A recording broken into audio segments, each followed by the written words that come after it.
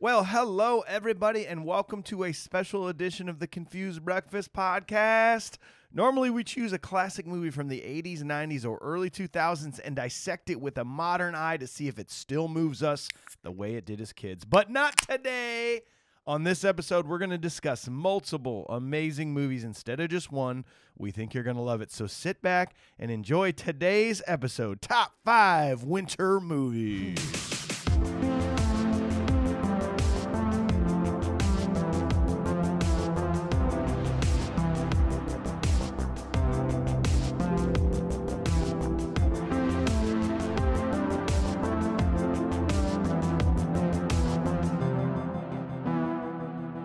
Well, we're pretty excited about today's episode, and I'll explain to you why we're doing this shortly. But first, it's time to introduce the team. My name is Mike Schulte, and joining me, as always, two dudes that love cold weather. Oh. Sean Prior and AJ Vens, how the heck are you? It's true, I do. I'm about done with it, man. really? Already? Yeah, You're I'm, already- I'm moving to Arizona, Texas. I'm I'm getting the hell out of here. There's a point. There's a point in the winter where it stops being cute. You know? Yeah. Oh, look at the oh, the Oh. snowfall. Oh, Oh, I can see my breath. oh. And then you wear the th- then you wear the wrong shoes Yeah. because it's the only ones you have, and you step in a huge pile of slush and ice, yeah, and just gets all up in you. uh, there's there's the eight seasons of of Iowa. Yes. yeah. You know, First winter, first fall, spring, fall, spring, slush Second- season. Very um, second, very big winner. Yeah, um, yeah, Extremely disappointing winner. yeah. fall fall spring that's a big one yeah um it usually happens right around um like at the end of january is when you're just like i'm Yes. done with this Yep. this So, is bullshit I thought we were going to talk about this with a loving kind of mentality Oh. of winter. So I, this is top five reasons we hate winter movies. oh yeah oh I think we got oh. the assignment right. These are the top five movies to watch while you're snowed in, got Yes, you. okay. oh i like that it makes you feel comfy. yes So here's what we're doing today. Top five lists and ranking movies is such a cool way to talk about a lot of movies at once, provide some great conversations. We've done a number of these episodes now. We started with top five summer movies. It was a hit. We followed that up with top five fall movies in October of 21. Then we did top five rom coms in January, top five movies from 1985 in April, and top five movie soundtracks back in July. And we're back at it today with top five winter movies. But before we dive in, don't forget your task for being a confused breakfast lover. Leave us a five star review on your podcast platform. Sign up for our Patreon to get tons of amazing perks, voting on upcoming episodes, weekly bonus audio. Patreon.com slash confused breakfast. Subscribe, watch us on YouTube, buy merch, everything you need, confusedbreakfast.com.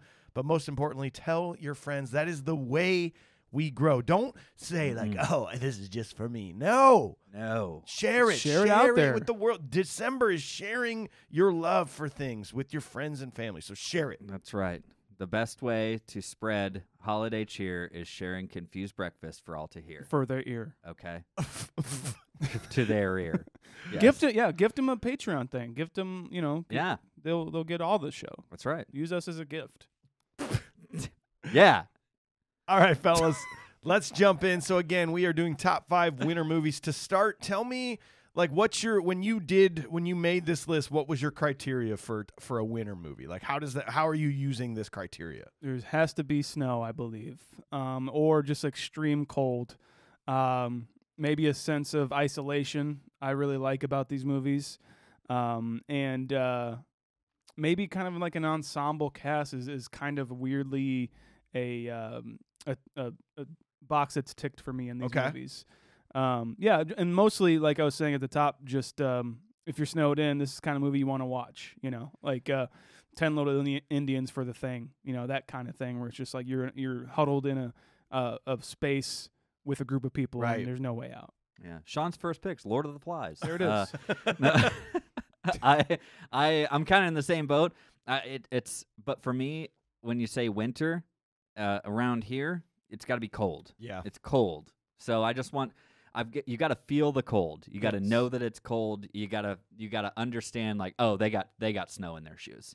Oh yeah, that that happened in that little shot and scene. Those are the kinds of things like I want to feel the cold. I want it to be like that's what I want. Yeah, I don't want to see like the Hallmark Christmas movie where No. where it is very snowy and Mm. cold, but they're just like hee hee hee hee no, no. I want you to be terrified with how cold this is and be going through the hardships of winter. You Yeah. know? Right. Because like, because we're used to that. We live in Iowa. It, it gets we get those polar vortexes that come on down like this, you know, and Yeah. it's cold as shit. And we get a lot of snow here. And I know we got friends further up north in other countries. Maybe our friends down in Texas, Florida.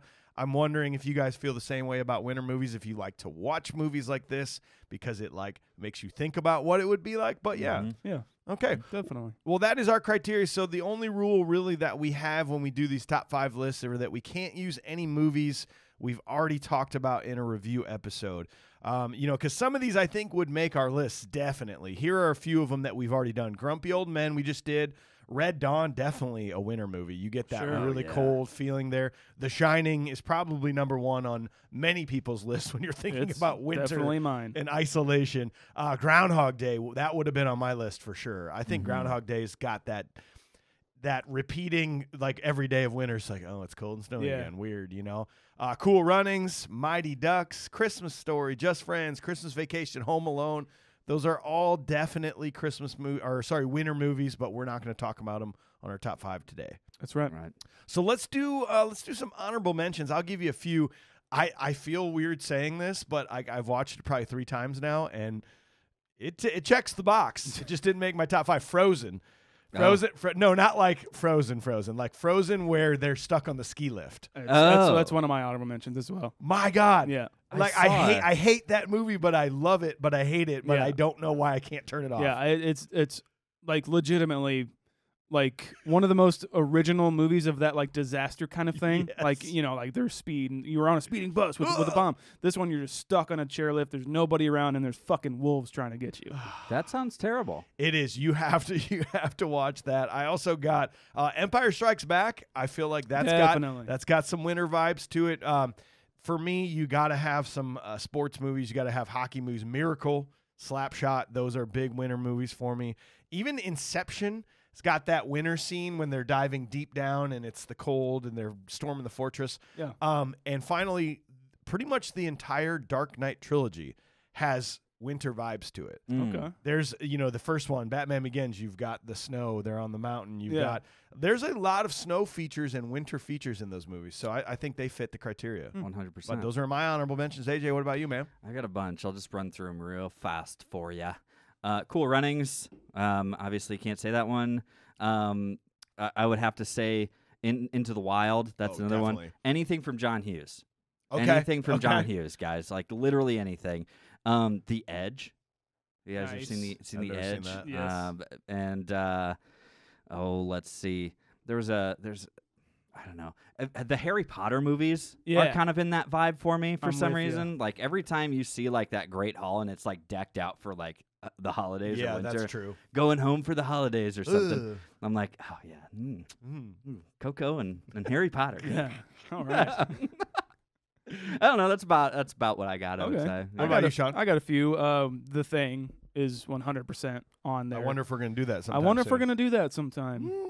Um, the Revenant is a Oh my God, I forgot about really that. cool like Mm. wilderness movie. The way that I I like that movie, but I think I like the way that it's shot more than I do than the actual content of the movie. I agree 100 percent with you. it's it's it's just like the story wise. I'm like, "Mm, okay, I can get behind it, and you know the little subtle themes. But other than that, I just love the winter aspect in that movie and the way that it's filmed. The way filmed. it looks. Mm. Um, there's a movie called The Black Coat's Daughter, or it used to be called February, so definitely winter. Um, it's just this weird kind of ghost satanic movie uh, done by Osgood Perkins. Um, it's just a weird, weird movie, but you can definitely feel the cold in that movie. Uh, check that out if you uh, have not. Um, there's a movie called The Chilly Scenes of Winter. It's kind of a romantic comedy. Um, who's the dad from Home Alone? John, uh, John, no, John something. Um, I can't remember. that name. Guy, he- Yeah. he stars in it, and it's a great, great kind of romantic comedy. Mm. Um, there's a movie called Weirdsville that's an indie movie with uh, Scott Speedman, and uh, it's just a comedy about these kind of drug addicts who are trying to kick the habit, but also trying to pay back this drug dealer, and it's uh, based in like um, Sk- Sas- Saskatchewan or something like that. Mm. It's really fun, really cool. Um, I revisited it because it was a childhood movie of mine and uh, still holds up. So check that one out. And that's all I got for honorables. Well, what do you say? Uh, I'll start us off on number five. I'm going to give you my number five. We'll go through the whole thing. We'll come all the way down to one. My number five, I already told you I do. I got to have a hockey movie. Like w- hockey is winter, you know, and so mine's Mystery Alaska. Nice. Ooh, yes. It's 1999 movie. Russell Crowe, Burt Reynolds, Mary McCormack, Hank Azaria, lots more. Feel good movie about the best sport in the entire world, Yep. hockey. Um, there are so many other hockey movies to choose from, like I already mentioned. But if we're talking about like the winter feeling of hockey plus just winter, it's this. It's that skating the river, like that epic shot of the dude. Like who doesn't want to strap on some skates Mm. and skate this windy frozen river and the shots of the of the black ice because it's Mhm. frozen and I, I don't know everybody playing hockey in town everybody skating coming together this movie is not that great overall like it's pretty cheesy I it's haven't pretty seen it forever. it's I, I rewatched it again last week and it's still like yeah but you know it just it's the most predictable cheesy movie you've ever watched but i just like it for a winter vibe I, Yeah. I do really like the way that it's like shot and put together, Definitely. and it, it is like you say, it's a feel good movie. It's a great watch for winter, one hundred percent. Yeah. yeah. so that's yeah. my number five sean Sweet. what about you man I will go with a movie called The Ice Storm, uh, directed by Ang Lee, starring this. This is this is what I mean by like stacked cast. This is Sigourney Weaver, Kevin Kline, Christina Ricci, Tobey Maguire, Elijah Wood, and Joan Allen, among many, many more. Uh, this is just uh, about more, more or less a kind of family drama in the '70s, and the kind of in, in a little bit of a small town um, these families all culminate together during I, I believe like thanksgiving into christmas and it's more of just like a slice of life of like the troubled marriage and uh, infidelity and uh, with christina ricci's character she's kind of discovering her sexuality uh, during the course of this movie. And um, elijah wood's trying to get to his family the entire time and so we cut back to him a lot. It's more of like a, uh kind of a segmented uh, here's this story and here's this story kind of vignettes but Yeah. they all kind of culminate together. I love it and it's um during an ice storm why why it's called the ice storm so they're all kind of uh, either outside trying to get in or they are stuck inside Yes. and like there's a scene where there's like literally a key party and they all have to be inside like even even if anybody's uncomfortable with that they you know they have to stay there and so it's really interesting and um, i i like ang lee's movies a lot and i think this is my favorite of his Mm. Number five for Sean, the Ice Storm. AJ, what do you got, man? Uh, keep in mind, I don't necessarily have these in a specific order. Oh, I don't know if great. you guys do. Yes. I do not. You guys are like 100%. five through one. Yeah, like, that was oh, five. I That just was gave you five. That was it. Like, oh man. Okay. Well, one of my top five is I'm gonna I'm gonna start off with uh, the the day after tomorrow. okay nice Yes, I, sh- I, you know what? I would have put this on my list, but I had a feeling you would put it on. Yeah. it's winter Yes. in june It's it's extreme winter. exactly.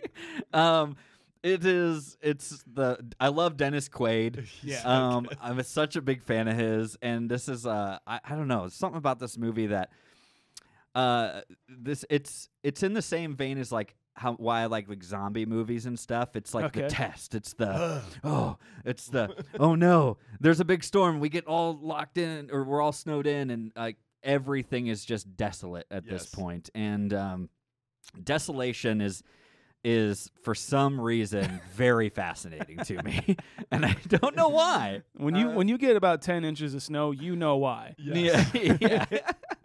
and um, there's just a lot of great scenes in this movie, like of them trekking through. They have to like find their way back into New York, and then they realize they're on top of New York, yeah essentially, and uh, like it's it's like 20 feet of snow that they're standing on top of, and ice, and uh, like falling through the mall. They're in, when. Um, uh, who who is it? Uh, J- Jake Gyllenhaal. No, Yeah. yeah, Jake it Gyllenhaal is Jake Gyllenhaal. and uh, he's he's like i they're hunkered down in like this library and they're Mhm. like eating they're eating breaking into the vending machines to eat something and just try to stay alive and and nourish themselves it's there's a lot of great scenes in this of cold isolation and and just being a desolate place and I love it. If you had to, that's in the same vein as San Andreas and um, Yeah. Yellowstone and all these like crazy, unbelievable disaster movies. think But Yeah. like Independence Day. Ro- I think Roland Emmerich Yeah. made that movie. So but for some reason, like I think this is my my favorite of all those. Like it's Yeah. it's annoyingly like, oh my god, it's global warming, but that means cold, and you know, it's all that, but it's still really good. Like, Yes. it's a good movie. Yes, hundred percent. I love it so much. I, I've gotta, I've gotta go back and watch it again here soon. Yeah. yeah. Well, good thing winter just started. Oh, good. hey, All we're doing is making a list for you guys to Yeah. watch winter Yeah. movies. Good at this point. Uh, we got an executive producer on today's shows. He's going to give us his five. It is our boy Bud Larsen. Thanks Nice. for being here, man. We love having you as an executive producer. Uh, Oh, yeah. His number five is Reindeer Games. oh nice. Oh. Okay. I, I, dude, I don't know if I've ever actually seen Reindeer Games. He said, um, he said it's about a group of Santas robbing a casino. How do you get more Christmas and winter time than that? I think he, I think he's right about that. That was uh, two. Have you guys seen that? It was Yeah. 2000. Was it uh, Ben Affleck? Ben Affleck. Mm. Uh, That's- Charlize Theron, I don't. Yeah. Gary Sinise. Yes. I don't know if I have seen this. Actually. I got to go back and watch that. I, Same. I think that was one of those movies where I'm just like, oh yeah, I'll eventually watch that, and I Uh-huh. just never did. Right. Yeah, I, I think it, it was one of those that I thought as a as a kid or like when I was younger, I thought to myself, "Oh, um it's about reindeer games." Rudolph. So like Rudolph and they don't let him play in those reindeer Oh, games. I've never seen this Rankin Bass film So before. it's like turns out no, it's Ben Affleck and Gary Sinise. Oh, Lieutenant Dan? Oh cool. oh. no, you can't watch it, dude. the guy from Armageddon. Yeah, Awesome. All right. Well, my number four it has to be The Grey.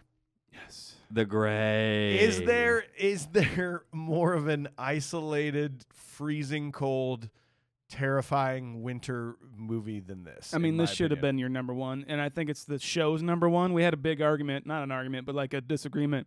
It was on all of our lists. We love this movie, and I, I have to say, if there is a movie that you want to check out uh, on any of our lists, check out The Grey first because it's Mm. so good. Do you think this never was this ever a big deal? Like, was No. this did it make a lot of money? Like, is it just kind of a more of an indie film? It didn't really go anywhere. Joe Carnahan directed it. He did like movies like Smokin' Aces and uh, a movie called Narc. Uh, really good filmmaker, but th- I think this is his best film, and it didn't get the recognition it deserved. 2011. It's Liam Neeson and basically just a bunch of nobodies, in my opinion. Uh, but like he he's the Liam Neeson you know. Right. He has a very I have a very specific set of sti- skills that are going. It's like, well, there's nine of us wolves. okay, so do what you will, but there's only nine of us, I guess, against your skills. You could say that wolves have a particular set of skills too. and that's Oh, just- good lord, today. That is just killing. I don't know. Th- this is one of those movies where I'm just like, I mean, we won't spoil anything for you if you haven't seen it, but like, like I tend to root more for animals in these type of movies. So I'm like, I'm like, yeah, fuck you guys. Like, let these wolves take you. It's Yeah. your fault your plane went it's down. It's your fault. Yeah. You're in their territory. your territory. That's what you're doing. well, ju- just to give a little sting to to the audience to uh, maybe go out and see it. Uh, Liam Neeson is uh, on this like oil rig, Russian or like They're just somewhere like in way northern Alaska or some- something like something that. like that. And he's his job is literally to protect these workers from wolves who are passing by, and he'll just snipe them. And so they are on a plane, and the plane goes down, and they have to try and survive along with these wolves trying to get them. yeah. um, there's your little little pitch for it. I, I will spoil one scene because this is one of the scenes in this movie is m- stuck in my head forever, and I think it's one of my favorite. If we'd ever do like top five scenes from a movie, this will be in there. Mm. Um, Oh, great. it's during. wow. well, there you go. It's during uh like the plane just went down. There's like maybe a handful of survivors, and Liam Neeson's one of them. And there's one person who is ex- like mortally wounded. And this guy is like, "Well, what's going on? What we need to get help. We need to get help, right?" And Liam Neeson is literally, and everyone's around him. Liam Neeson like has him in his hands. He's like, "You're going to die." He's like, no, no, I'm gonna get better. He's like, He's like, wait, wait, wait, wait, wait, wait, wait, no, no, no, no, I, no, no. He's like, no, it's just, and he just kind of talks to him. He's like, who do you love? Who are you thinking of right now? And it's a, this group of people along with Liam Neeson talking this guy through his death, and he eventually dies. It's the most harrowing, sad scene Mm. I have ever seen in my life, and it, I for that scene alone, this movie is on masterpiece level for me. I Mm. love it so much. the, the look of the film, the color grading, the snow, the the scenes where the wolves' eyes are popping out Oh, with God. fire reflection. This is one of the best winter movies of all time. Go out and watch it. Yeah, it's it's like the Edge, but wolves not a, not not a bear. Yeah. yeah. So that's what it is. Sean, what's your number four, man? Let's go with um I'm gonna go Cold Prey. This is a horror movie. This is actually one of my uh, one of my favorite slashers of all time. Um, I believe it's like maybe Sweden or something. The filmmaker's name is Roar Uthaug, maybe Danish. I don't know. I don't know what it is. Uh, foreign movie about these uh, snowboarders, a group of friends um, who go snowboarding, and one of them, what wouldn't you know, breaks their leg, and um, they have to kind of find help for him, and they they stumble upon this abandoned uh, hotel that's just literally just kind of left there in the middle of this of these mountains in this snowstorm. No roads anywhere. It's all just covered with snow. So they go in and find uh, shelter there and have this guy rehabilitate. And like, well, we're here, so we'll just stay for the night. And there's snacks, there's booze. We'll hang out. And uh, in the morning, we'll get someone to go out and try and find some help. Uh, but uh, wouldn't you also know is that there's a huge man staying there and he's psychotic. Wouldn't you know? Um, and so it's Wait a, a a slasher movie about this guy who's simultaneously killing these teens off, and uh, I love it. It's it's really great. Um, it's like The Shining if it was a slasher, pretty much. Nice. Um, so there's your pitch for it. I love it. Go check it out. Cold Prey. AJ, number four. What you got, man? Cold prey. Cold press. Well- Sounds like a new type of cold press coffee. It does. Cold Prey. Ooh, Cold Prey by Nestle. Uh, Nestle. from Nestle. Can I get a Can I get that in a, a venti, please? Ooh. The other, the other day, I went to like a normal coffee shop and I said I want a tall, Yeah. and because I meant like give me as much coffee as you can. They're like, "Wait, do you mean small like Starbucks?" I'm like, "No, I mean tall, the tallest cup of coffee I The can get." biggest thing you can give me. I'm not in Starbucks. I can say tall here, and that Right. means a lot. Do I look like a Starbucks frequenter? I Yes. guess. Is that, is Yes. that, is that who I am? Does it look like I'm the type of guy that walks into a Starbucks and gets in line be- behind 30 teenage girls Yeah. ordering things with sprinkles in them? Yeah. No, I fucking don't. Okay, continue. Sorry. Cold prey. Yes, I'd like some sugar with a splash of coffee. That'd be great. By Nestle. and some Uh, Coffee with cream. You okay, buddy? I'm good. Give me a Speaking of coffee with whipped cream on top. Coming from horror, speaking of Starbucks, I'm going to give you the holiday. Yeah. This is my favorite. This is what I love the most about you too. Sean's like, oh, it's a bit of an indie horror film that no one's ever seen. AJ's like, the holiday. The holiday. Jack Black. Cameron Diaz and Jack Black. Jude Law is I love you guys. the hunky sweetheart who cries. He's sweet and sensitive. and sensitive, but strong. Look at him chop lumber. I don't know. It's like, so, uh, like it's it's. I know it's always like shocking, and and you for some reason over the years have just gained this like weird appreciation for these. It's this is right in the vein of. Uh, like just friends yep. with like Hallmark movie vibes. It's, This it's is Hallmark a- movie, but like good. but thank God there's production value I wouldn't say it's even like a Hallmark movie. I would say this is a Hallmark card brought to life. brought to Ooh. life. Yes. Like, that's what this movie is. And you know what? It's funny because it even kind of plays on this a little bit because she Cameron Diaz basically plays a like a she she helps on commercials uh, or or helps on uh, commercials. trailers for movies. Yes. right. She she like produces them, and she's having like a fallout with uh, or not having luck with men. Has a fallout. And then, uh, what's her name? I can't think of it. the other actress? The other actress. Why yeah, can't Oh, I it's think Kate Kate Winslet. of it? Kate Kate Winslet. Winslet. And um, she has a very similar situation going on in England, and uh, Cameron Diaz is in L.A. Well, they decide to take a holiday and switch places. House swap, classic situation. basically, yeah, basically Airbnb each other's houses. I'd like to do that someday with some random person. I'd be fun. down. It's a fun idea. Um, yeah. And uh, but then a killer comes in. but then Sorry. But then there's a psycho living in the basement. Happy holidays. happy holidays. um, Just Welcome to crappy holidays. Uh, and so, but th- so you've got that, and I love it because Cameron Diaz can't get out of her own head, and she has like the monologue of the trailer. It's like. It's like Cameron Diaz just can't catch a break, and she's like playing this over and over in her head, and I love it so much. But then this is honestly also, oddly enough, one of my favorite Jack Black roles. Yeah. Yeah. I, I Other than Airborne. uh, and other than Airborne, of course, Yeah. of course, or um, other than uh, Waterworld. Well, Um, but Damn. it's deep, cut. That's a very deep cut. We just have to do that move and get it out of your Let's just system. get it out of your system. Well, hey, Jack Black's come a long way. We're gonna do it Um, from your pool. Don't Yeah, worry. Yeah, that's right. um, but I love his role in this. I, for some reason, it's such a charming movie, It is. and it's it's a really comfortable watch, and you feel for these these people, and even, for, even though you probably shouldn't.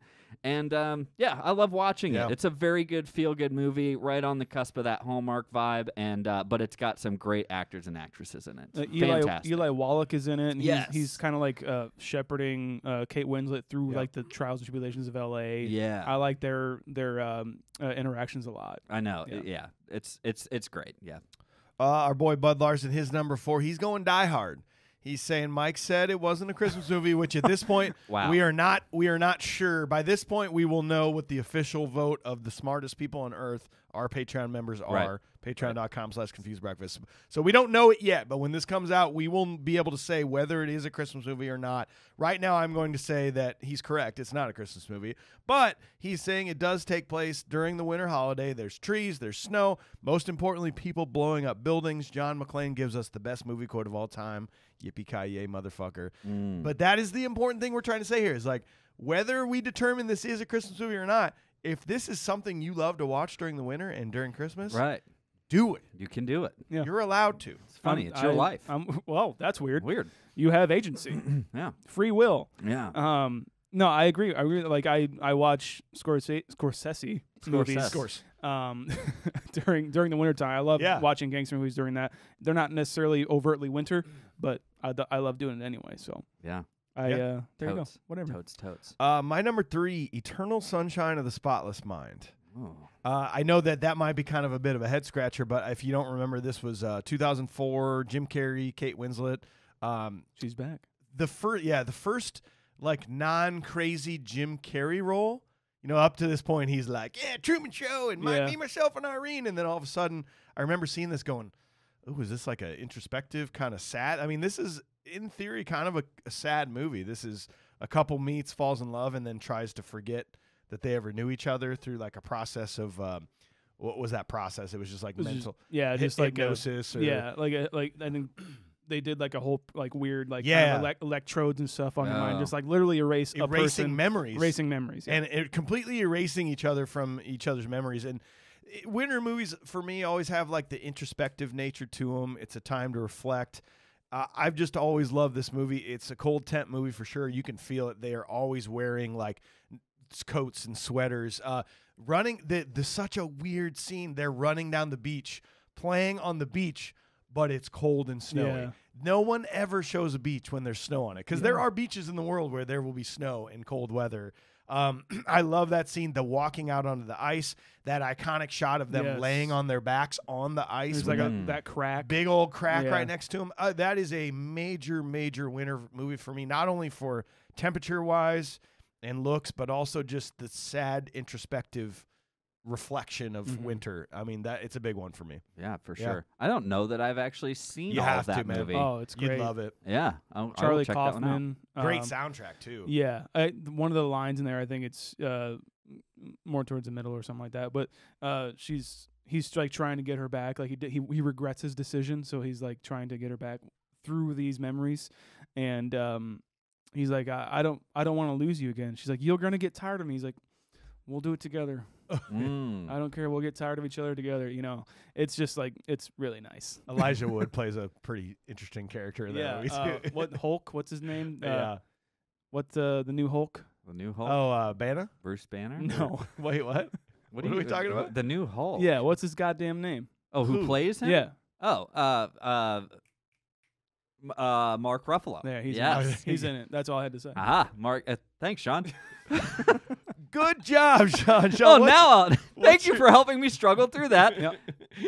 What's your number three? And Sean? yeah, y- y- he's in it. So, Ugh. um, let's do this. I'm gonna go, the Hateful Eight. That's okay. it. Move on. Uh, Quentin Tarantino. I uh, well, Yes. this reason why I love this is I went on a bus ride uh, to Chicago, Okay. uh, to the Music Box Theater, one of the greatest theaters on earth. Yes. And I saw the Roadshow edition of the Hateful Eight in 70 millimeter film, projected 70 millimeter film. 70 millimeter is like the widest you could ever see a movie in. okay. Um, I I had such a great time. We we went with a bunch of other fucking nerds uh, to to see this. Picture, picture the, the, the I, li- I, I, I'll tell you what I'm picturing real fast it. is I picture I picture Sean, who is a nerd, Yes. also sitting in this room full of other people. You'd be like, "Fucking nerd." No, they, they are my brethren. They are they uh, from film scene in Iowa City. They, they we all did it because of them. I pictured the the school bus from Trick or Treat, and all of them had masks on. and they're all just like, yeah, All just had, All like- wear cowboy hats or something. um, we were watching Quentin Tarantino movies the whole way down there and the whole way back. Um, this is the the like the kind of roadshow edition like pamphlet you get when you go to one of these. It's Ah. like they in seventy millimeter films there was like an extravaganza, so you got like uh, like programs pretty much. Mm. And so in the roadshow edition, there's an intermission in the in the middle of the movie, and if you can imagine what scene, it just kind of there's like a huge twist, and that uh, was the intermission right there. Um, I just love it. It's literally the thing, but a western uh, done by Quentin Tarantino, and uh, it's it's based off you know like the ten little Indians, ten little Native Americans, um, kind of stories like that. And like I said, it's it's the isolation and it's the there's the whole mystery of people may not be who they say they are, and I I, love that aspect of the film. And uh, yeah, I it definitely my experience of the movie has informed my love of it. So. Uh, I definitely love it for that reason too. Hateful Eight. AJ number three. What you got, man? I'll tell you what I got. I am going to do, yeah, 30 Days of Night. Yeah, man. This might be a surprise to some folks. Yes, very much. Josh Hartnett, I think, is great in this movie. And this is the great combination of like borderline kind of in the zombie vibe, but it's vampires and people are like um like th- it, the whole basis of it is up in Alaska um a town like it goes dark for 30 days during the winter. Do they actually name the? T- is it Barrow, Barrow, Alaska? Alaska. Is that what it do, is? do they actually use Yep. Barrow for that? Yep. Okay. And so, yes, it's a small town, just a little place in uh, Alaska, and everybody's preparing for the night, like the long, the long night. And this is also where these vampires essentially come to hunt and and basically feed. Uh, so, um, yeah, it's uh, it's really really fun. It's a lot of man. It's like the anxiety trip for. It's just crazy that you have the isolation, but it's not from just the cold. It's the isolation that you are trying to isolate yourself, not that you're trying to, uh, not that you you are caught by the weather. You're trying to keep things out, you know, and keep out those vampires, hide from them, and it's terrifying.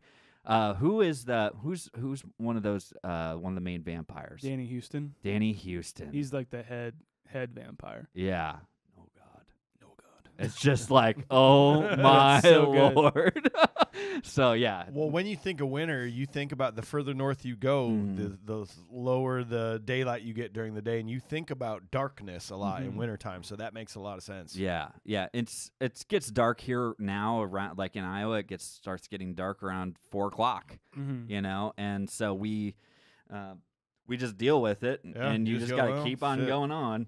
Yep. And I imagine like when you just have thirty days of straight night, you just got to keep going on. Just oh, we got to work, we got to do this, we got to do that, and now we can't because we have to hide from vampires. yeah.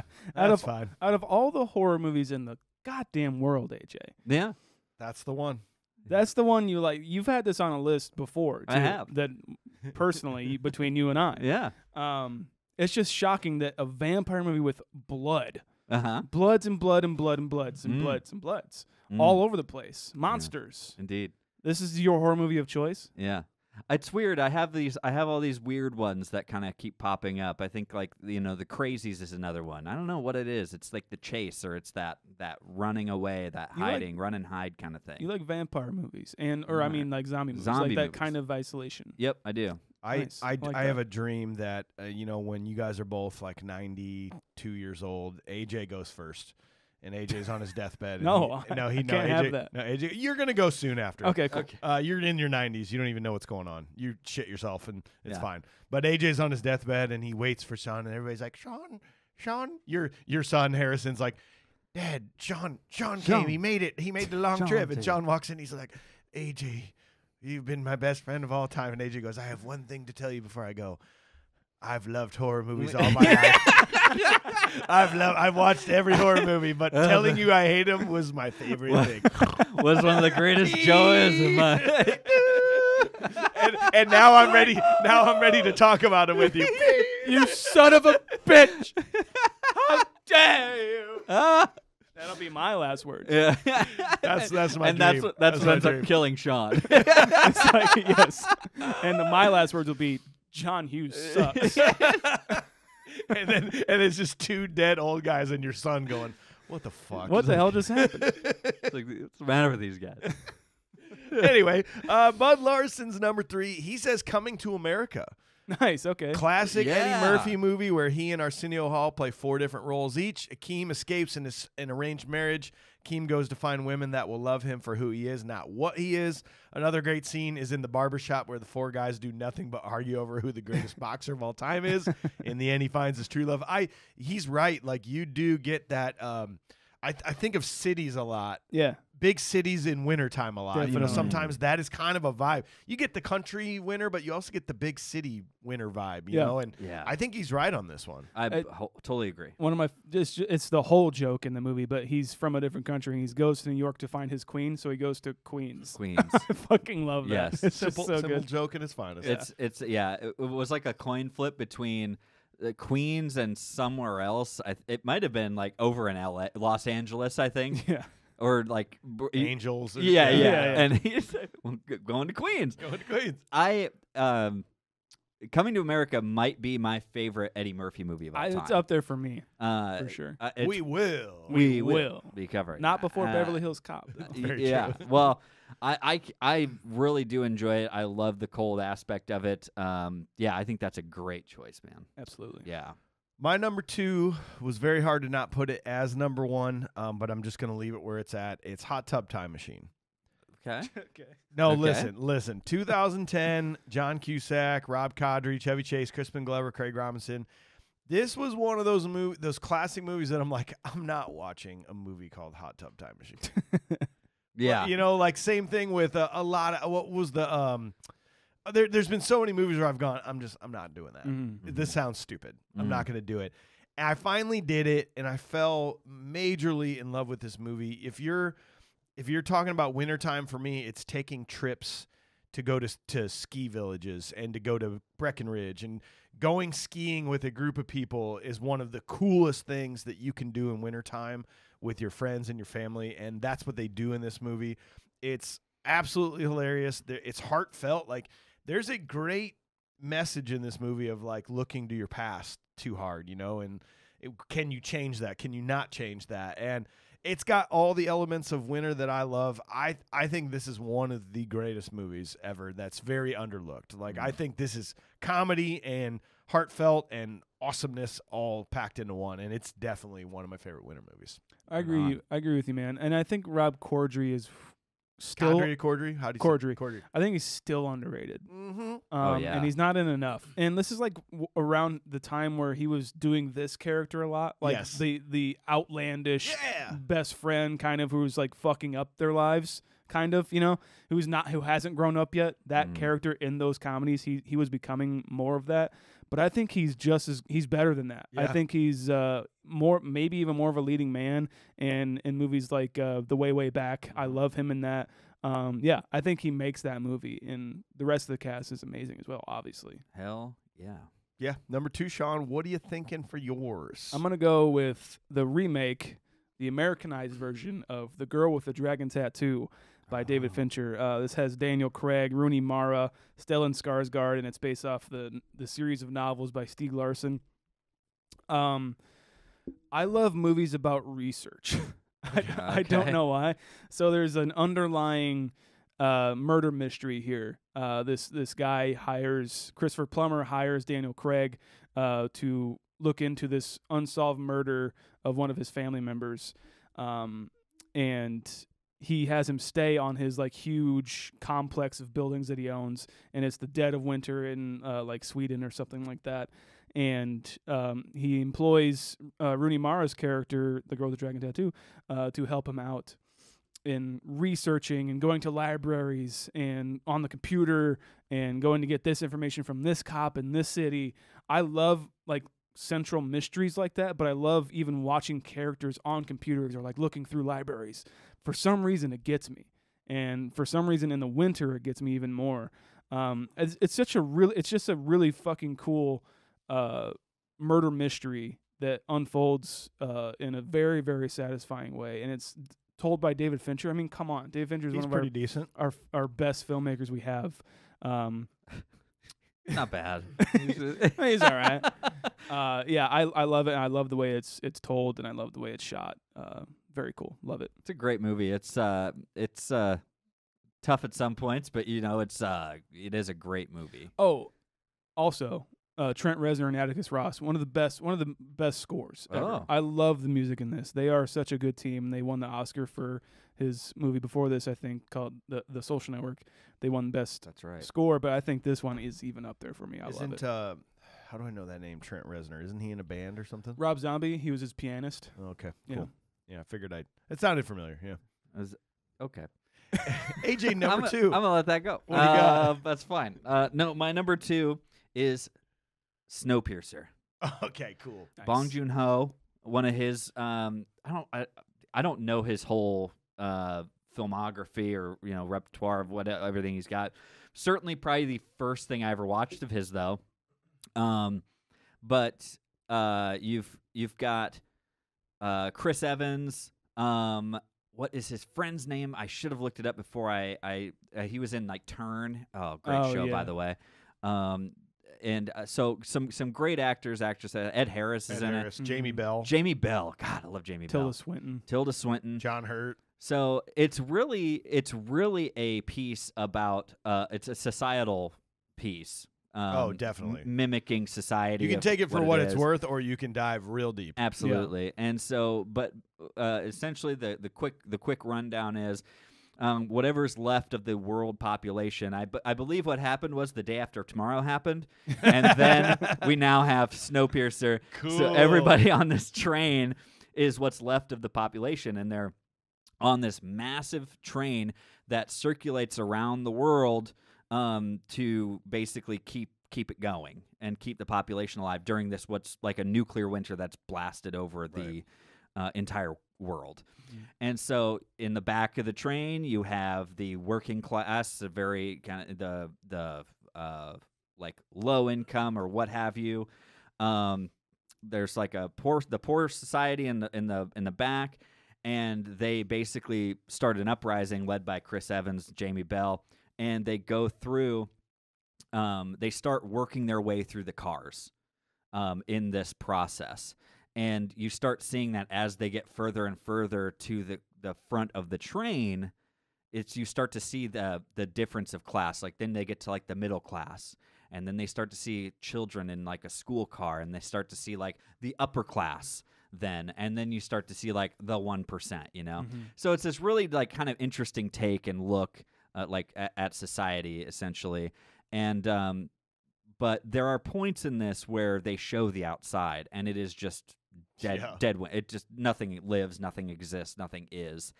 Um there's a point where they do like the um upper class or, or whoever you know the authority they do a punishment. And one of the punishments is is like they basically take this guy who stole and they put his arm outside and it just Oh, yeah. freezes and then they break it with a hammer Cool. that kind of stuff so it's really really cool it's a really really like they they the way that they develop their plot and all the little things that go along with it it's such a fascinating watch, and again, you can take it at face value, like you said, Mike, or you can just really deep dive into what it means, like and and the mirror of society that it has. So it's Bong, great. Bong Joon Ho does that sort of a lot in his movies. I'm I'm kind of gathering now because his Oscar-winning Parasite Yeah. is literally about class. You know, there's the yes, it's that's what I was trying to look uh, Yeah. think of as a, society and class system. That's Yeah. what I was trying to think of the word. Yeah, thank um y- yeah it's it's like literally the the characters who are trying to like live in this house in parasite are like literally downhill from you. Mhm. uh these upper class people and it, the way that that's shown is is brilliant and obviously the the juxtaposition of that on the train the back of the car the caboose is the fucking ass of society right. and then the engine is the 1% It's the one percent. it's really really good yeah. bong joon-ho's fantastic Uh, Bud Larsen's number two is Bad Santa, and I gotta agree. That's uh, that's Christmas meets winter time. Like eh, when you, th- I mean, Christmas ultimately is. We didn't really put any Christmas movies on because it's pretty Mhm. obvious. But Yeah. like Christmas is winter for Oh, a lot of people. winter. Uh, yeah, if you hadn't seen Bad Santa, it's Mall Santa and Elf by day, two career criminals by night. They plan to rob them all right before Christmas, but Santa grows a conscience, tries to foil their own plan, sending both of them to jail. That's a cl- criminally underrated, uh, just overall movie. Uh, performances, Christmas, winter, whatever you want to call it. I love, I love Bad Santa, and I need to add that to my list this year for Yeah, sure. I haven't seen it in a few years. same It's it's one that I put off for the longest time. I of know like, it. oh, Bad Santa. Ooh, Oh, wow. yeah, let's go. And then as you dive in, um, you realize how like far they took it, and you're like, okay, this is pretty funny. All right, this is great. Yeah, this is this is good. I Billy Bob Thornton yep, appreciate got so ya. good I understand. Appreciate you. um is this is this coming out before elf Uh, this will be after Elf. After Elf. okay, so um, Terry Zwigoff, who made uh, Bad Santa, was going to make Elf as we as we would No have said. way. yeah. Well, As we would have already discussed. Wow. A- as we discussed previously. what? Inception. yeah. All right, we are down to our number one. Thanks everybody for being here. We love you so much. We're gonna Oh, hook yeah. you up with the number ones. We appreciate you sticking around. It it absolutely means the world to have you guys listening to these episodes to let us just be able to have these conversations. So Yeah. again, thank you for sticking around. My number one, out cold. Oh God, I'm so glad There you did is. this. I This- ha- I, I I, even had left this to. off of my honorable mentions list because I just I had that feeling. 2001 movie, really. Listen, really not a critically acclaimed movie. I believe this might be one of when we do get to this, which by the way, I will let you know, which is why I'm not going to talk too much about this. Executive producer Josh Miller has officially made this his choice for January. So we are going to deep dive on Out Cold Coming in clutch. coming in clutch. So I'm not going to talk that, much about this, but this is this will be one of the worst critically acclaimed movies that we do. Like, critics hated this movie. Is it cheesy? Yes. But is this the movie that first introduced me to one of my favorite actors in the entire world, and comedian Zach Galifianakis? Yes. It's the first thing I I love this movie. I love the idea of being young and living in a ski town Yeah, that's and fun. skiing every day and partying every night with good friends and coming together for good. And yeah, this this movie, Jason London, Zach Galifianakis, David Yes. Koechner, Victoria Silvstedt, Lee Majors, David Jesus. Denman. And David I- Denman is yes. amazing in this Th- movie. this I'm not going to talk much about it uh, because we will be able to do a full blown review on it. But this is like the the ultimate wintertime movie for me. Funny, isolation, conflict, skiing, snowboarding. I love it. I Ten get out it. of ten from Mike. completely I completely agree with you. I love it as well. I can't wait to cover it. Yep. I'm really trying to hold back right now. Okay, let's just There's a hot tub scene. Anyway, yeah. we'll get to that. Sean, number one, what you got, man? Number one, dog. Uh, I was just watching this movie before I came here.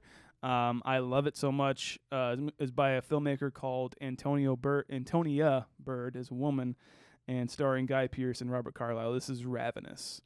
Uh, this movie takes place during the Mexican American War. Um, Guy Pearce plays this uh, soldier who um, is a kind of a war hero, but he's a war hero in, in all the wrong reasons. He was kind of a, a cowardice war hero. He uh, pretended to be dead while they were getting ambushed, and then while after he was laying under all these dead bodies, he escaped and actually took this base that they took from them. Um, and so because of that, he's rewarded, but the captain or the major is, is not having it. So he sends him to uh, like the Sierra Nevadas to be stationed there as like kind of pretty much exiling him. Mm. Um, and when he gets sent here, this uh, man, mysterious man, comes to camp and played by Robert Carlyle, who essentially tells them the story of how he got there. He tells them the story of the Donner Party, pretty much. Like this guy went crazy. Uh, we were stranded. We were in this cave. We didn't have anything to eat. We we went through our oxen. We went through our horses, our boots, our belts, and then we had to turn to cannibalism. And then one, this one guy just went crazy with it, and that's why I escaped because I had to leave, and so I came here. And so the whole, um, uh, gr- this whole camp, these soldiers go to where this cave is to try and find this woman who was there because you have to save the woman. Mm. Um, and it turns out maybe he was lying. The the little stranger was lying.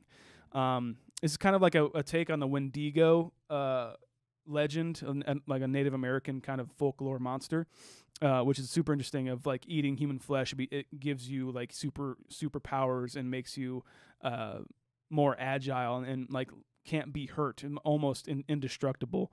Uh, but it's set in the winter, and uh, they're they are outside in, in expeditions, and um, I love it for that reason. It's very isolated uh, in this camp, and this the performances by Guy Pearce and Robert Carlyle are unbelievable, and the the music in this is actually uh, Damon Albarn, Duh. who is uh, Blur, Gorillaz, Blur and Gorillaz and Gorillaz. um, super interesting soundtrack, and it's it's so unconventional and so weird, but it fits the movie so perfectly.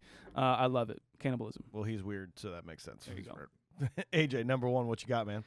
Um, this movie is I I realized how much I enjoyed this movie because I have I've because of how much I've revisited actually even uh, not even during the winter but when when it starts to get cold I realized I did it this year started to get cold I watched this movie if you guys are a fan of like Yellowstone that's happening right now like the big phenomenon of, of Yellowstone you will love this movie it's called Wind River Hell yeah. Wind River have you guys seen Wind River I've Yes, never sir. seen it. Okay, so Wind River uh, is was made by Taylor Sheridan. Oh, so makes it- sense. from Yellowstone.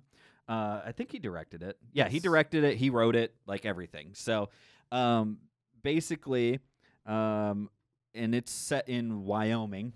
So you know, big country up in Wyoming. Basically, uh, Jeremy Renner plays a, hu- a hunter, like a predator hunter, like a professional predator hunter and tracker. Um, to and uh, he more or less gets recruited by the FBI because somebody in their town, um, it was a a, a girl, uh, was basically found out in the uh, wilderness, and they presume murdered at this point. Um, very much along the lines of um, she's a Native American uh, woman. Um, there's a kind of a, a big balance of you know he, Jeremy Renner's uh, a white guy and he's going into the uh, reservation and stuff and he does have a relationship with them. The FBI shows up. Uh, Elizabeth Olsen. Mhm. It, they send one person up basically, and it's Elizabeth Olsen from the FBI. Wolves? You got it. Avatar. You got it. Cool. Got Thank it. you. And so, no, No, okay? this is different. It's different. uh, long story short, um, Jeremy Renner helps Elizabeth Olsen uh, investigate this murder and, and what happened to her. Um, you'll see a lot of characters or a lot of the actors and actresses actually from Yellowstone that are even Yeah, in that this. makes sense. great. Jon Bernthal has a small part in this God, he's the best. so good. Um, but it's a great, great mystery in a cold, cold, cold weather place. Um, and to watch it all unfold, I don't want to give anything away, but man, it's that guy has a great way of just writing and telling stories. It's Mhm. phenomenal, Yeah. and um, I really think, yeah, you should definitely go watch it. Our oh, you got one? He's he's just a great storyteller in the fact of like modern uh, contemporary westerns, like Hell or High Water. Oh God, Is- did he? Was he involved in that? Yeah, it's- oh it's all my him. God, It's yeah, He's the man. He's Then- got like literally his trilogy of like land movies, Yeah. which is basically that Wind River and Yellowstone. yeah. Um, such a great storyteller, and yeah, the the fact at the end of this movie, the cold hard fact at the end of this movie, blew me the fuck away. yeah, Because when this movie ends, it ends with like kind of a, a like a Yes, a percentage tr- fact. yes. True things. It yeah. blew me away. So You don't learn that in history books. You don't- I don't even know what your fact is, but I know I can guess. and no one talks about it. Nobody Nope, talks even about it. No, And listen. We all when we arrived in America, we sat down at a big table and had Thanksgiving dinner with 100%. Yes, That's we did. absolutely. That's exactly. We shook it. hands and broke bread. Yep. That's all that happened, right? That's all that happened. Anyway, uh, executive producer Bud Larsen, thanks again for being here, man. We appreciate it. Very His number so. one, Spies Like Us. okay. No, and I and I it's, I have not seen this movie in a long time, and I think he nailed it. It's it's um uh, Aykroyd and Chase.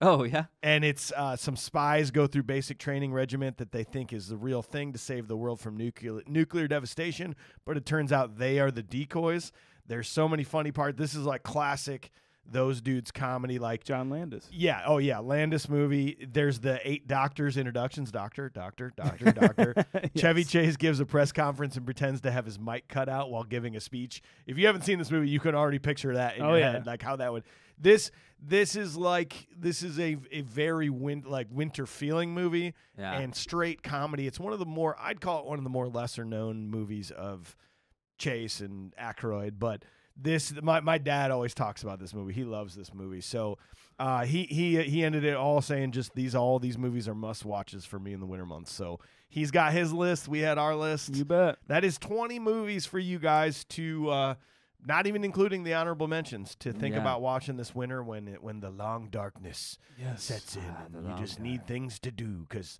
nothing on Netflix is really calling your name. Pick Yeah. up these movies. Settle Yeah. up with a little little whiskey, little little nippers. Yeah. You know, a little bit. Just Get- little nippers. watch a movie and warm relax. me up on the inside, and then these movies will warm me up on the outside. Yep. So- Well, we're glad you guys were here. We do have a voicemail. You can call us at 319-804-9596. Leave some thoughts on the show, feedback, movie suggestions. Here's today's voicemail. Hi, guys. It's Neil from New Jersey. First off, my state sucks because I can't get the whiskey delivered to my state. Son Rich. of a The whole state won't deliver alcohol. My state sucks. Second of all, you guys' podcasts are the greatest. I learned from you from Two Bears, One Cave, and I binged all your episodes within a month. And That's a lot. am I mistaken, or are there like no great military movies that you guys do? Hmm. I'll even true. do like Good Morning Vietnam with Robert Williams, Yeah. Full Metal Jacket, you know, like classics. Yeah. I was just curious if that was a thing or not. But also, I think we need to discuss the most nostalgic movie ever made by man, The Demolition Man, Ah, yes. starring Sly and Wesley Snipes. Yes. Come on. Yep. You Come can't get more nostalgic than that. And the one liners. Yeah. So that's all I have to say. Keep up the great work. You guys make me laugh nonstop. And I love your little mini bites. You guys are awesome. Keep doing you. And yeah, you guys are awesome. You are definitely number one podcast. Thanks, man. So keep up the good work and enjoy. Now he's right. We Nice, we bro. really haven't jumped into some military movies, which is interesting. we don't enough. support the military. We don't. No, we we do not support the boys in blue or the military or the firefighters. No, we get out of here. We don't. Just kidding. I'm joking. we love it. Major jokes. We actually know. I I don't. Sorry, I don't have it in front of me. But so one of our executive producers has added Saving Private Ryan to the upcoming list. So Okay, nice. We're gonna start diving into some of that. But yeah, I think he's right. We do need to check some of that stuff. Absolutely. Yeah. Yes. I can't wait. Um, yeah, Demolition Man. too. Demolition Man. What are the seashells for? I was just gonna ask, hey, if you can tell us what the seashells are used for, how you use the seashells, I'm all for it. Uh, Yeah. Then we'll do it. Yeah. Yeah. Perfect. we'll have to figure it out when we do it. Yeah. Well, please go check us out at confusedbreakfast.com. Ratings on all of our movies are there. You can buy merch. You can contact us on social media. Uh, you can check everything you need to know there. But also, more importantly, you got to go to patreon.com slash confusedbreakfast, which is the reason for this bonus episode today. Yes, sir. The people there that we are so grateful for have allowed us to add this extra monthly episode. So we are going to read that name, uh, that list of names off to them. of these amazing people. We got to thank Robin Fawcett, Dane, Joel, Nick Merulla, Mark Prior, Keerlana, Alicia, Camden Griffith, Francisco Rivera, Cameron Jay, Bud Larsen, Katie Beeks, Mr. and Mrs. Roommate, Cale James, Jason Davis, Shaun Dixon, Emilio Perez, Skyler Brunssen, Jordan Hooten, Brynna Misener, Willie Cox III, Jenel Lewis, Joe Thomas, Chris DeAro, Marshall G, Mitch Cavanaugh, Josh Miller, Condumb, J- Jason Botsford, Chris Prior, Paul DeAro, Jason Hahn, Travis Scanlan, Gary McCarthy, Corey Vaughn, Ranger Rick and Suebaloo, Damien Zemek, Zachary Hearon, Dallas B, Revis, David Waggoner, Jeni Wilson, Tim Nash, Mike Zachar, Duane Van, Robert Vens, Joey Piemonte, David Waters, Allen Cross, Negaduck, ZerophoniK, Amy N, Ryan O, David Gould, John Devlin, Zachary Jones, Seth Murray, Tina Hansen, Leeloo, Dallas Multipass, Lance Davis, Jesse Anderson. We also got Mike being Mike, Dale Prystupa, Derek Foreal, Mike Wheeler, Andrew Sawtell, Mike Oxhard, Garrett Layoff, Aaron Baker, Ryan Grabsky, Michael Nash, Adam Bathun, Bathune, Ryan Weaver, Quentin Moore, Joseph Morris, Zach Evans, Justin Woolley, Todd Fajot, Jared Bushman, Melinda Miller, Luke Bittews, Bittews, I gave you all the hard ones. Shadow X Viking, Rachel Heinz, uh, Bailey Rome Murky, Tyler Dark, John Miller, Caleb Campson, Dean Roan, Austin Hartman, Jason Ruby, Rod Rogers. All right. Nice. Chris M, Cody Kirker, Chris Clemon, Louis Lewinsky, Lonnie, Lonnie, Laniuski, Laniuski. Laniuski, Alexandra Hemingway, the writer, Starling, Jessica Helvenka, Hel, Hel, La, Heliovinka, Lavinka. Helvinka, Tanner Gray, Quincy Mullen, David Amodai, Matthew Rosendahl, John Martinez, Jackson M, Jamie Young, Spaceballs, the username, Aaron Richard Harding. And do not forget, we've still got Brandon Anderson, Captain Chunk, Bryant Wayland, Jacob Stahl, Carson Kruger, Aaron Hamblin, Alex Navarro, Richard Burciaga, Stephen Andrew Gibson, Peter Fitz, Jay Bender, Stephen Gatos, Steve Bland, Andy M, Chris Nelson, Steve Galbraith, Sean. Matt Cruz, Sean Galbraith, Yeah, we got. Don't forget Sean, dude. Sean Galbraith, Matt Cruz, Terry Pyatt, Kyle Donnelly, Kyle Eberly, Tyler Kennep, Jose Lush, Robert Ross, Steve Prim, Jacob Collins, Max W, Lee Rash, Michael May, Trent Crutcher, Austin Pala- Palazzari, Father Pina, Doman Brown, Travis Ferris, Mr. and Mrs. Beers,